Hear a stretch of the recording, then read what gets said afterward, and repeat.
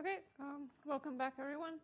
Welcome to the exercise class. Let's start. I think today we'll take only half of the exercise class to cover everything I want to, so it won't be for long. Um, okay, so the first thing, so I think all the things that we're going to do today were already announced in the in the lecture. So first we'll look at the um, like pre and post selection paradoxes and uh, at this probability function extension um, that we needed to define in order to uh, define what a paradox is. And we'll prove some of the um, properties of this uh, function and also of the pre and post selection states. So just to remind you, uh, what we did, we we took the probability function, which was initially defined on the uh, on a set of, of projectors, and then we we extended the set of projectors so that also the complements of the projectors are included. Also the projectors commuted then their um, their multiplication was also included and so on. And then uh, the final probability function which is extended to that space would be would satisfy three following uh, conditions. First that it is indeed some sort of probability function. So it's between one, uh, 0 and 1. So again, to remind you, f of p is the notation that we use for probability of measuring projector p given the pre and post selection phi and psi. Uh, yeah, so this is the first on necessary property, then the second is that the f of identity is 1 and the f of 0 is 0. Also very natural. And the last one is about two projectors, P and Q. If they commute, then from this it follows that f of P plus Q minus pq equals f of p plus f of q minus f of pq. So let me clarify something I didn't clarify last time. So uh, why are we indeed allowed to put this um, this sum as an argument of f? So say that we have our so we define this probability function for the projectors belonging to, so last time we called it, I think, A prime to this uh, space of projectors. So um, if P is in, in the A prime, um, then one identity minus P is also an A prime because um, A prime is complete with respect to the projectors in this sense. And Q is an n per a prime, then 1 minus q is also an a prime. And this means that if p and q commute, as in this, in this case, then identity minus p and identity minus q also commute, which means that identity minus p multiplied by identity minus q is also in this space. And this is this can be rewritten as identity uh, minus p minus q plus pq. And since this projector is in the A prime, this means that the complement of this projector is also an A prime. So identity minus this is also in A prime. And given that we can write this uh, multiplication in the following way, we can see that uh, this is actually equal to p plus q minus pq. So it has to be an A prime. So basically, that's why we're allowed to uh, put this expression there as an argument. Okay. Uh, so Very good. So the first thing that was already announced in the lecture um, we're going to prove is that the overlap between the pre and post selection uh, okay, let's say that phi is the pre, uh, pre-selection, so prepared state. And psi is post-selection.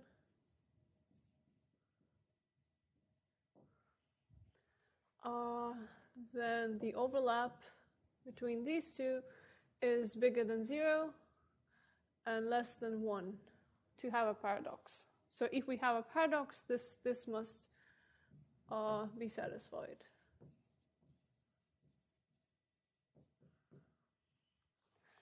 So, okay, so let's let's see how we can how we can get to this conclusion.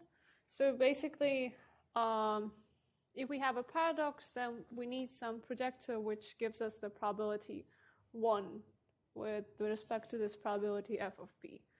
So we have this projector p, f of p.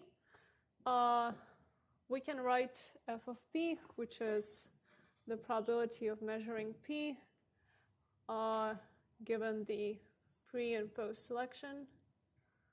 Sorry, I write phi in two different ways, but it's both of them are phi. So, and this we can write um, according to the rule we've seen yesterday. So this is just psi p phi over psi p phi plus the same for the second projector, which is the complement of the p. And this has to be equal 1, which means that the psi identity minus p phi has to be 0. Um, this means that the phi, uh, psi phi um, should be equal to psi uh, p phi. And this has to be, uh, for this probability, in order to be 1, this has to be bigger than 0, which means that the overlap or overlap between the pre and post selected state has to be non-zero. So from this it follows that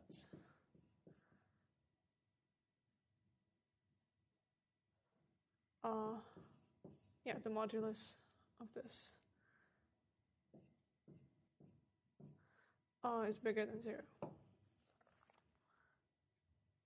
Okay, so this is from uh, the bound from below. Now for the bound from above, which will say that the overlap has to be strict, uh, strictly less than one. Uh, okay, so suppose that indeed we we arrive to the situation where we have a paradox and the overlap between uh, these two pre and post selected states is 1.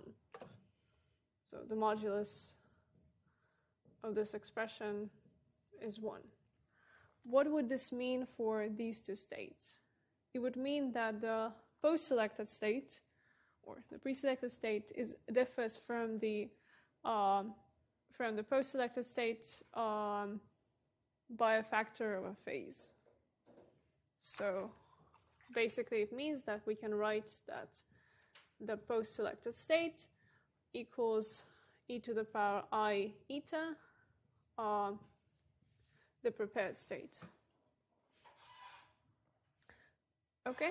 Um, and if we write it like this, then yeah, the overlap is just this phase.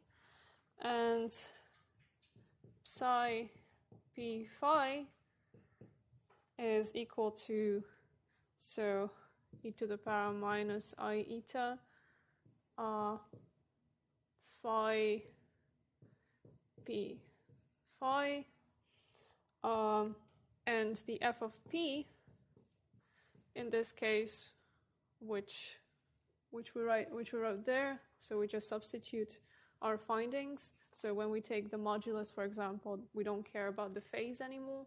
So basically, what we would get is uh, phi p phi um, phi p phi plus um, phi 1 minus p phi. Since these are projectors, then actually this this is guaranteed to be real so that we don't even need the the moduluses here. Um, and basically what we get in the denominator is just the scalar product of phi with itself. And in the nominator, just the usual like Born rule like probability of getting outcome corresponding to um, the projector P. But if we take, but if we define the f of P in this way, which just corresponds to the usual Born probability, then all of these three rules that the probability function has to satisfy are automatically satisfied because they they are all they yeah they're all true for these type of defined probability. So basically from this it follows that um, it, the probability is defi- defined in such a way that all these three conditions are satisfied and hence there is no paradox, which we initially, um, we, which we suggested initially, which means that in fact, so this is no paradox, and then we know that for the paradox we need that this is less than 1.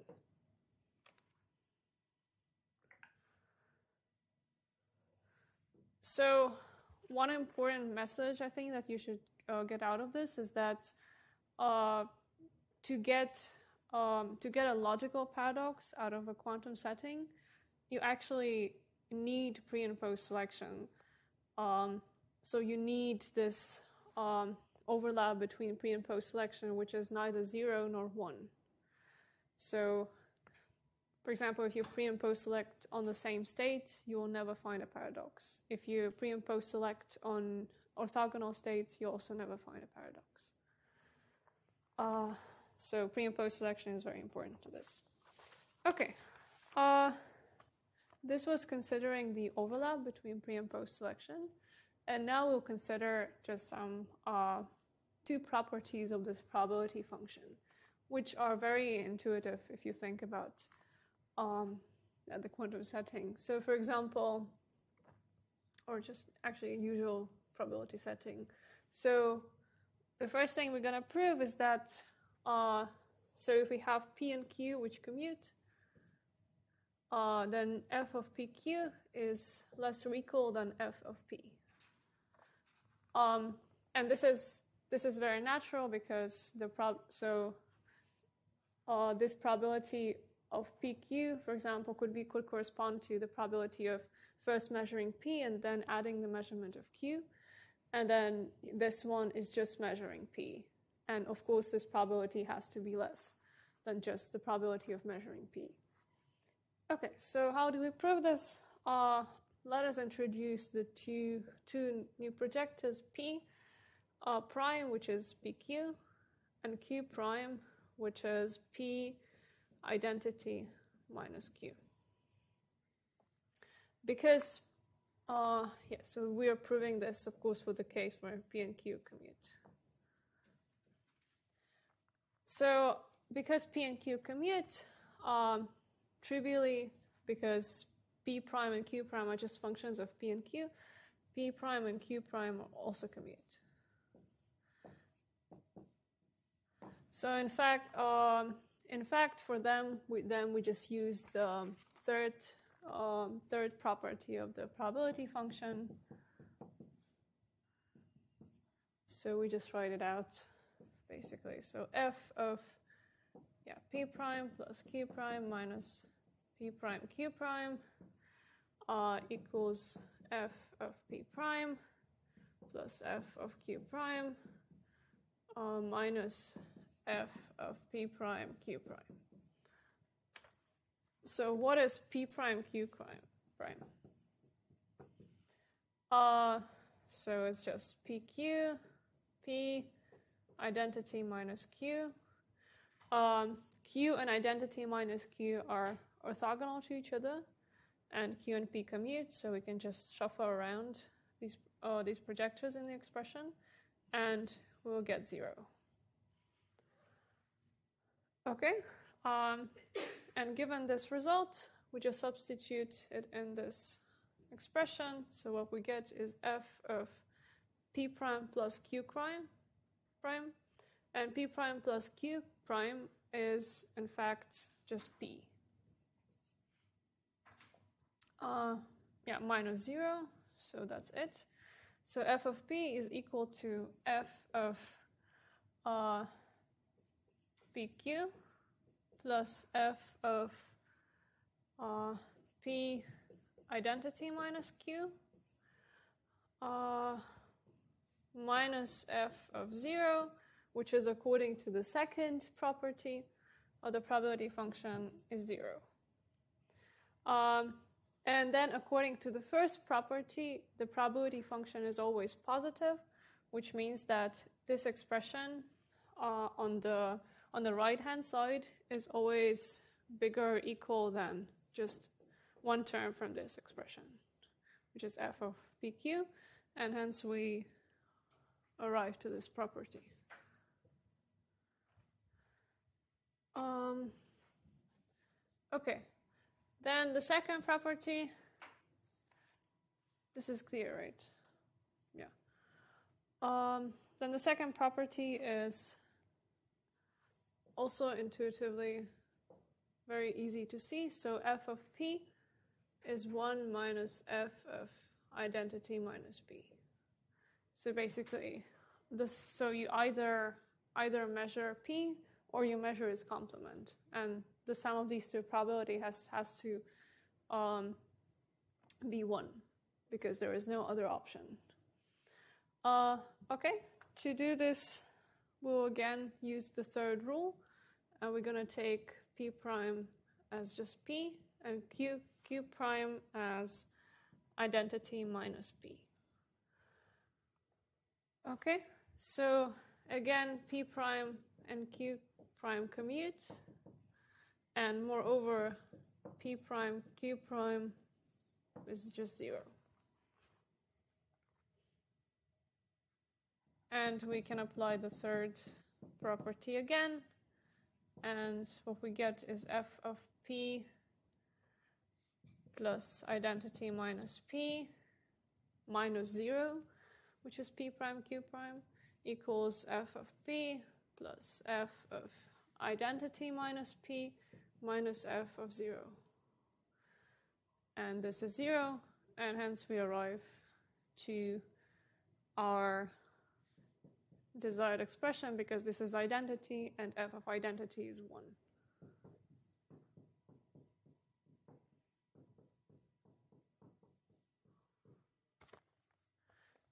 Okay, so this was all concerning this uh, probability function.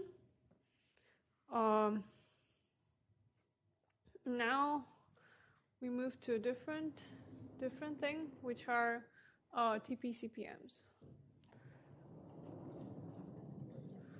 and some properties of TP-CPMs and how they can be expressed um, um, in terms of or the other way around, how a projective measurement can be expressed in terms of TP-CPM.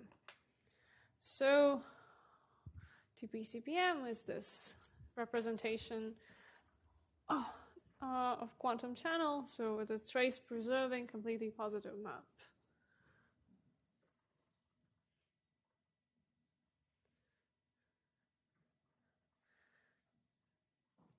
And this is um, somehow the most general way to um, describe the evolution of the quantum system whenever, for example, it's we already seen it. So, for example, when it's coupled to the environment, and then we don't want to care about the environment, we only care about the system itself. Then we write the evolution on the system uh, individually as a quantum channel. Um,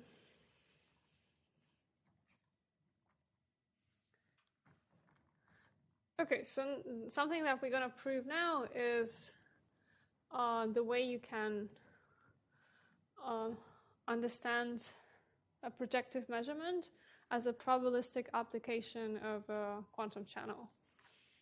So basically, say that we have a set of projectors, Pj, um, and then there exists um, there exists a TPCPM epsilon such that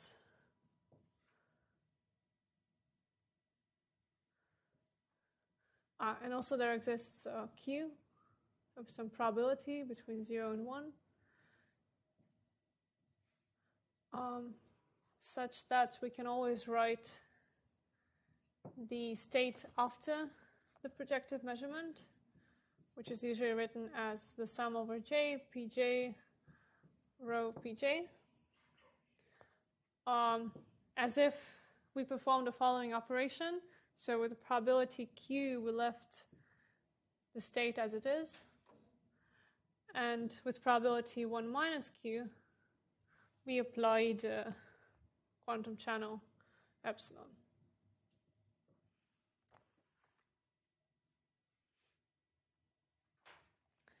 Okay, so yeah, we're just going to prove this fact. And to do so, um, let us assume that the indices j, they run from 1 to n. So there are n projectors. And um, we're going to look at the vectors um, in n-dimensional real space, x, which run from x1 to xn. But the components of these vectors would only take the values plus and minus 1. And we will call the set of such all such vectors as x. So I can say that x is all vectors x such that um, these conditions are satisfied. Okay. Um, then given this set X, for each of these small vectors X in this set, let us introduce a unit, um, linear combination of, of projectors corresponding to a particular vector X. So it's going to be some, uh, we call it Ux, which will be sum over J, um, Xj, Pj. So this is um, this construction corresponds to, to a particular vector x from, from, from this set. Uh, in fact, this construction is unitary. This is easy to check. So what we, what we need to check is ux dagger um, ux. So this will be sum over j um, sum over, say, j prime. Um, xj's are real, so I don't need to conjugate them. Yeah, the projectors um, are Hermitian, so I'll just get xj, pj, xj prime, pj prime. Uh, because pj's are projectors, then pj, pj prime would be equal to uh, pj delta jj prime. So it's non-zero only when uh, j equals j prime, which means that this is reduced to just one sum. Um, xj squared uh, pj. xj squared um, would always give you 1 because xj is plus minus 1, which means that this is just sum over pj's, and they're projectors, so they sum up to identity. Okay, uh, so indeed this one is a unitary.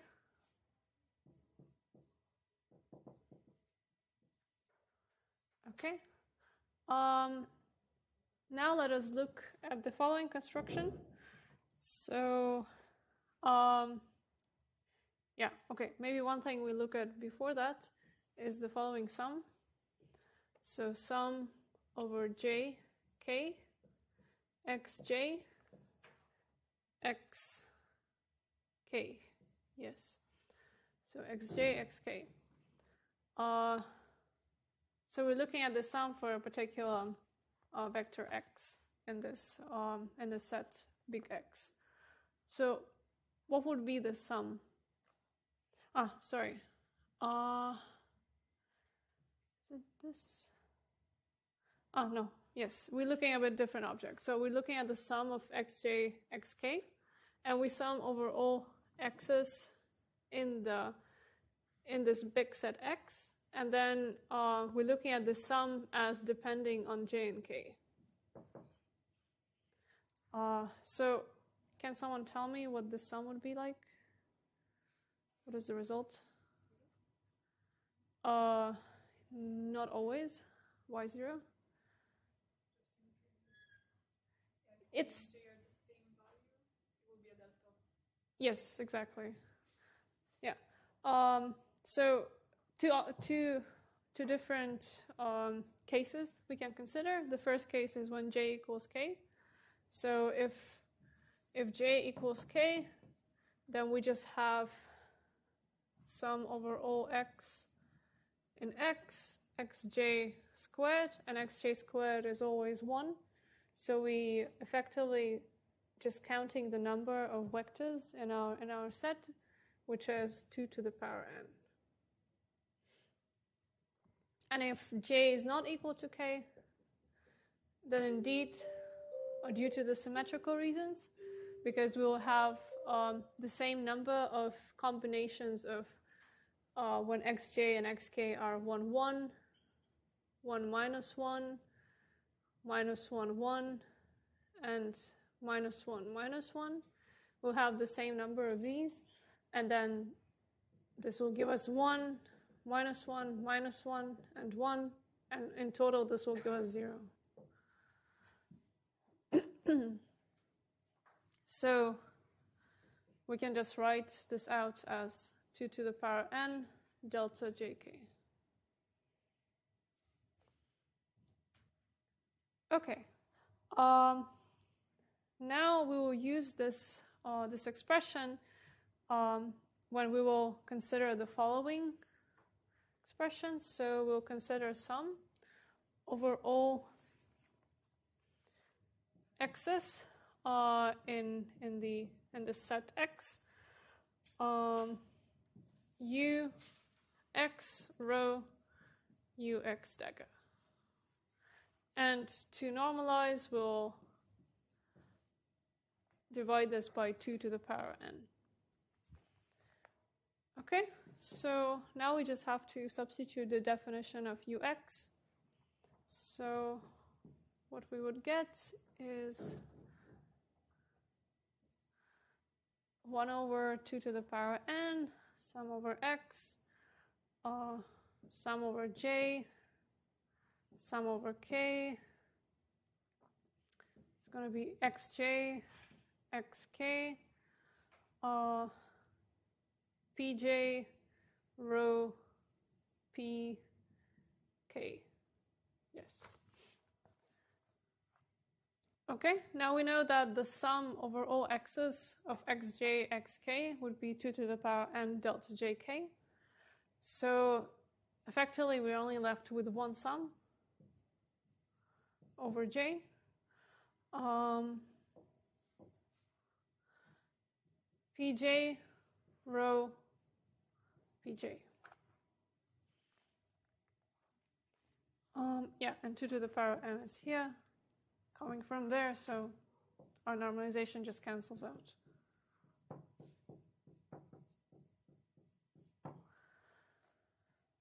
Okay, so we're almost there, basically.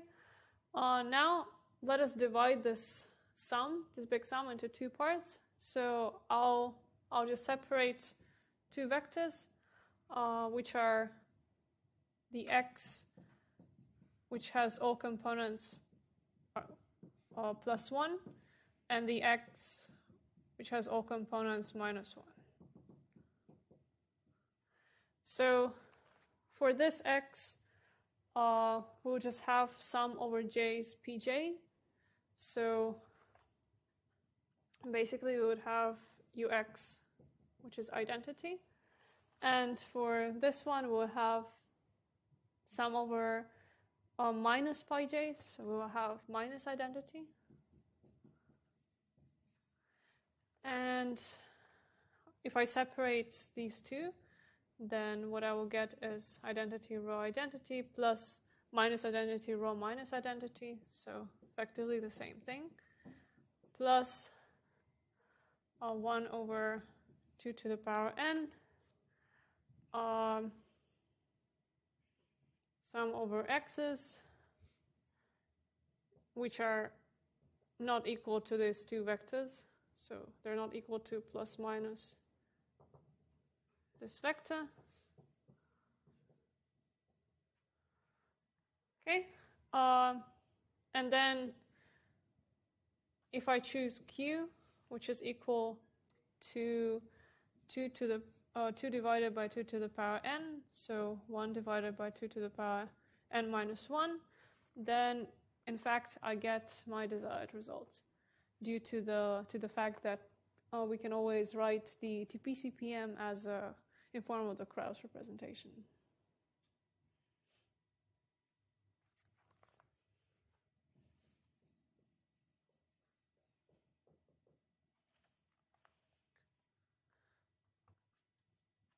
Okay, so yeah, this is this might be sometimes useful to think about uh, the projective measurement as this probabilistic application of a completely positive map.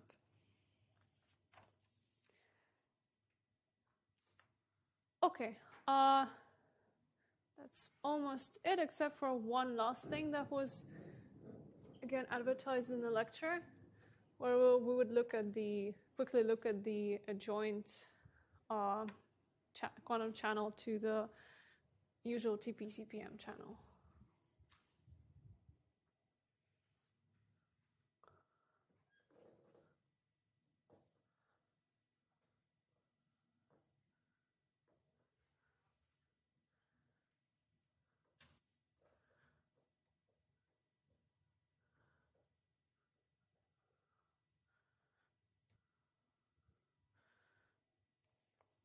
Okay, so if we have a TP-CP_M, um, epsilon, which takes a state from uh, the space of the operators uh, endomorphisms on uh, Hilbert space A to the space of the endomorphisms on, on the Hilbert space B. Um, then we can always, for, for this TP-CP_M, we can always define an adjoint map, which I'll label as uh, epsilon dagger,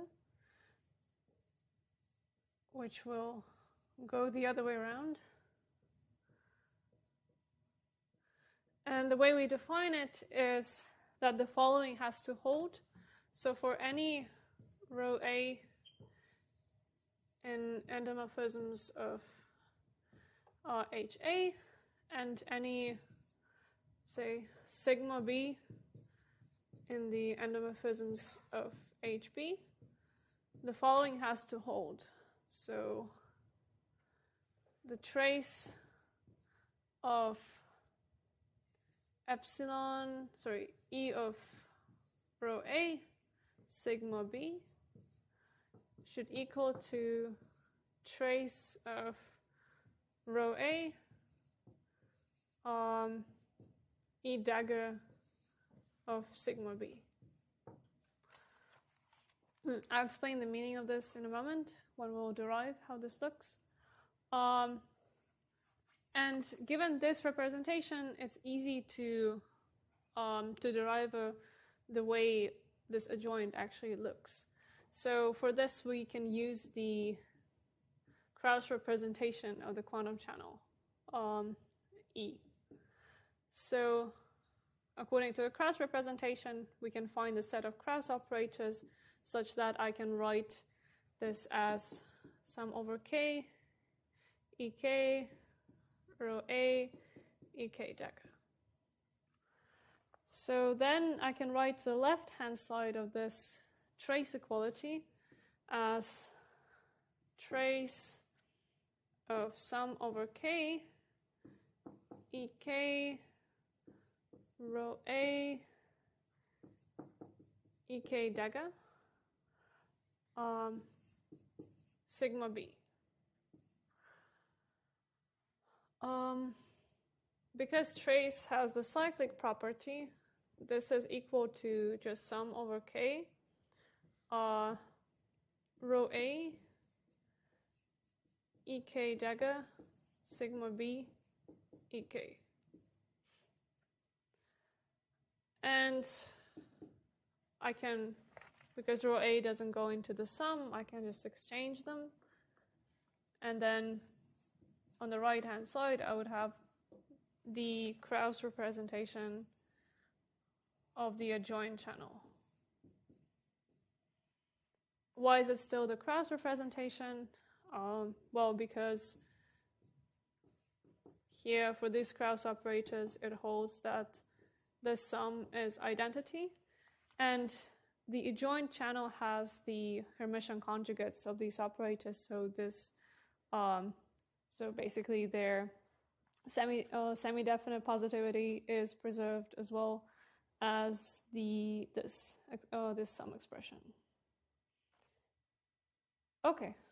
Uh, what is the meaning of this of this representation? So one can think about this as so for example, imagine um, that these are these are not necessarily density matrices, right? So it just have to has have to be some operators in this endomorphism space. So for example, this can be observables as well. And then this expression is exactly uh, what it means to go from Schrödinger picture into the Heisenberg picture. Because, for example, imagine that sigma b is just some observable on the system A.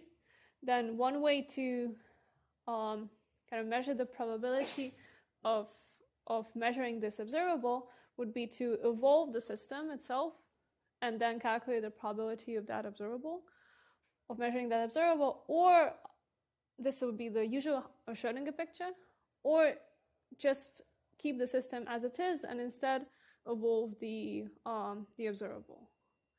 And this would be like the Heisenberg picture. So this is kind of one interpretation, um, yeah, of this procedure. Okay. Uh, yes, I think I think this is everything that I had for today. So these were just the tools that Lídia used in, in the proofs in the lecture. Um, so it means that we're almost done with the paradoxes, except for the paradoxes with where we would use the weak measurements and weak values and for such, um, the similar theorem as you saw in the lecture can be can be can be formulated, but I think that will migrate to the that exercise migrates to the next week because we still haven't talked about the weak values in the lecture. Uh, and then the rest the rest of the course is on clocks. So, yeah, um, yeah. If you have any questions, feel free to to ask. Yeah. So for today, that's all.